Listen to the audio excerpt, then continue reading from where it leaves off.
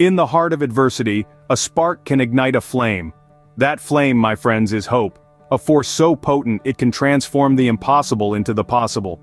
Imagine standing at the edge of a cliff, the wind howling, the storm raging, it feels like you're alone.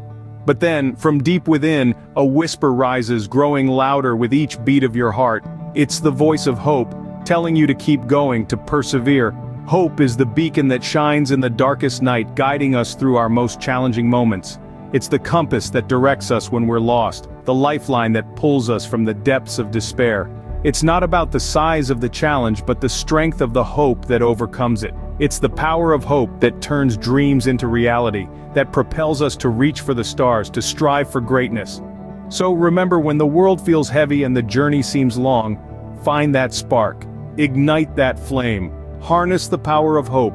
Because hope, my friends, has the power to change everything.